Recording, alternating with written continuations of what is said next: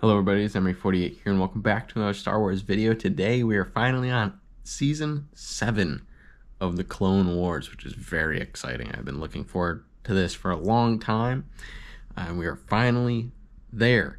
Now, the timeline does not go in episode order exactly. It switches it around slightly. Uh, so it starts with episode 5, Gone Without a Trace. Ahsoka is back and she meets Trace and her sister Rafa. Ahsoka and Trace have to track down a rogue and dangerous droid. Now, this episode to me was kind of just like it was just kind of there. Honestly, um, has nothing to do with Clone Wars realistically, um, but it's good to see Ahsoka back and good to see what she's up to. Episode 6 is Deal No Deal. Rafa, Trace, and Ahsoka pick up spice from Kessel, and Trace dumps it before getting to Oba Diah and the Pikes, and they are now captured by the Pike Syndicate. Episode 7 Dangerous Debt. Rafa, Trace, and Ahsoka escape but get recaptured. And this kind of is a running theme of the next couple of episodes. Uh, Rafa and Trace's parents got killed by a Jedi while chasing Zero. The action saved a lot of people but killed their parents. Mandalorians are also on a mission on Oba Diah, and they have spotted Ahsoka. Episode 8 Together Again. Ahsoka bargains for Rafa and Trace to get go to retrieve the spice, which they have not smartly told uh, the Pikes that it's it doesn't exist. She breaks out and overhears a conversation between Marg Krim, and Maul, finding out he is on Mandalore, which we already knew that, but explains why the Mandalorians are on Oba Diah. Ahsoka plants bombs and gets recaptured, revealing she is a Jedi. Rafa and Trace steal spice from a different Pike planet.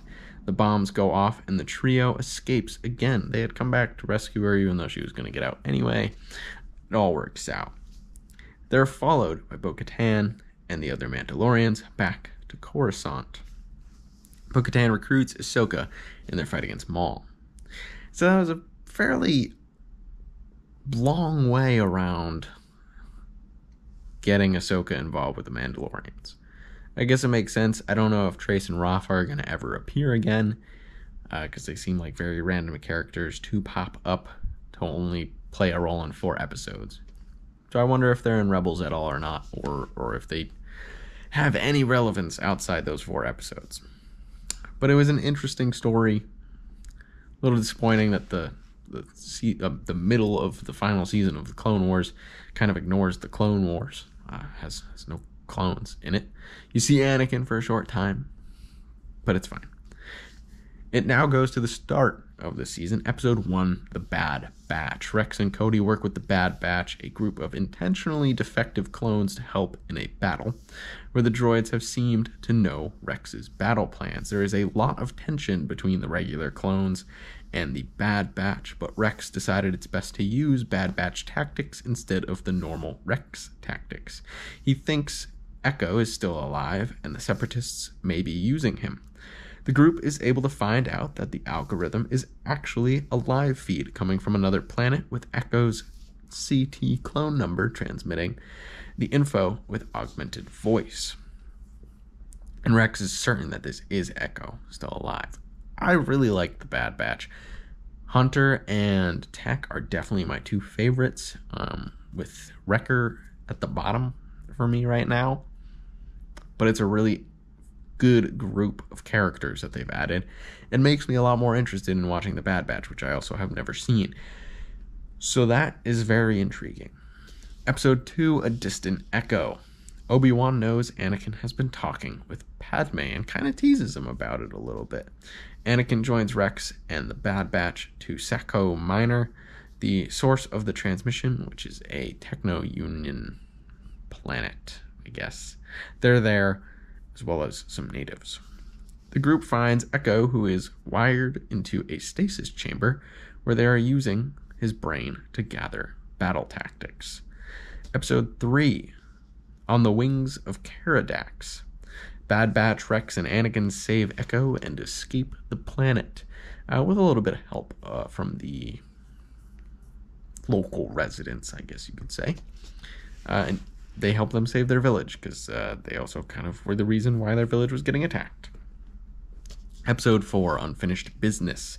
Anakin Rex, the Bad Batch, bring Echo onto the Separatist Dreadnought, and he wiped out all the droids fighting Mace Windu and Obi Wan on the planet with an energy pulse through the system, using assuring the Republic keeps hold of Anaxes. Echo then joins the Bad Batch, joins that group. And those are the eight episodes in season seven that are before episode three, Revenge of the Sith. The final few episodes, I believe it's four more, are concurrent with episode three, Revenge of the Sith. So I'll cover that next week when I also cover the movie. As well as, I believe the first episode of Bad Batch is concurrent with the film. So that will be on tap for next week, and I'm very excited to watch Order 66 portrayed throughout the Clone Wars show, as well as obviously in the movie. I know how it happens in the movie. I don't know how it happens in the Clone Wars yet. And considering Ahsoka's back, I think it will be very intriguing. And I'm excited to watch it. That's all I have for the first part of season seven, uh, the first eight episodes. Let me know your thoughts on these shows down in the comments below. Thank you everybody so much for watching, and I hope you have a wonderful rest of your day.